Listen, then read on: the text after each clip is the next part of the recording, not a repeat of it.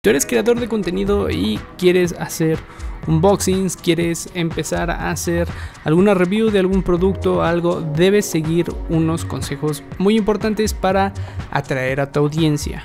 Para empezar, cuando tú haces alguna review o algún unboxing de algún producto, lo importante es mostrar ese producto y lo que necesitas es tener una buena demostración, eh, un buen fondo podría aplicarse muchísimo a, estos reviews y lo que yo te recomiendo como primer punto es que tengas una mesa de trabajo o tengas un lugar de trabajo pues donde puedas mostrar el producto y se vea estéticamente bonito y llamativo para toda la gente. Recuerda que este fondo a veces puede llegar a ser em, más llamativo que el producto, entonces trata de que no sea de esa manera, trata de que tu producto resalte ante este fondo. Recuerda que también puedes em, adornarlo un poquito, ya sea con figuras, ya sea con un mousepad, si tratas de tecnología, si vas a hacer, no sé, make-up de maquillaje, puedes eh, poner envolturas, puedes poner paquetes, puedes poner presentaciones de cosméticos, etcétera.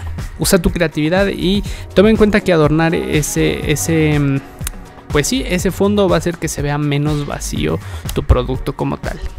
En segunda, trata de investigar todas las especificaciones de ese producto o todas las cosas buenas que tiene, todas las cosas malas. Aquí algo algo, algo que siempre es muy recomendable es hablar con la verdad y casi siempre decir las cosas buenas, las cosas malas y las cosas intermedias que puede llegar a tener un producto. En caso de tecnología, por ejemplo, siempre puedes estar en pues hablando de las cosas buenas, en qué conviene comprarlo, en qué no conviene, qué cambiarían. Y pues nunca te vendas una marca porque muchas veces la gente eh, que te ve, pues obviamente te tiene una cierta confianza y si esa gente descubre que pues prácticamente les estás vendiendo eh, un producto pues no tan bueno como tú estás diciendo, créeme que tu audiencia se va a ir para abajo. Esto aplica para todo, ya llámese marketing de, de tecnología, celulares, productos, comida, cualquier cosa, siempre digan la verdad. Y como último punto, recuerda que siempre tu producto debe ser lo que resalte y eh, llame en general a la audiencia pues a consumirlo.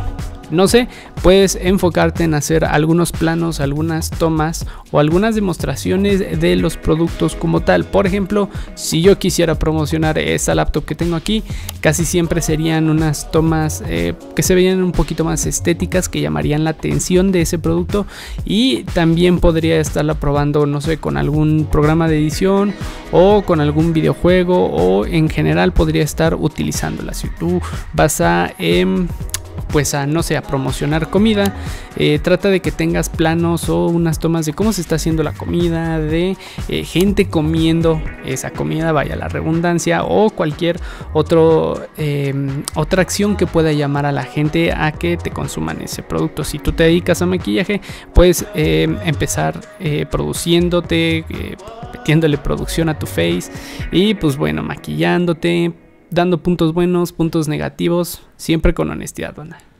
Y por último y lo más importante, si una marca se acerca a ti, siempre ofréceles profesionalismo. Muchas veces eh, por querer hacerlo rápido no tienes un guion, no tienes un, equipo, no tienes una buena edición.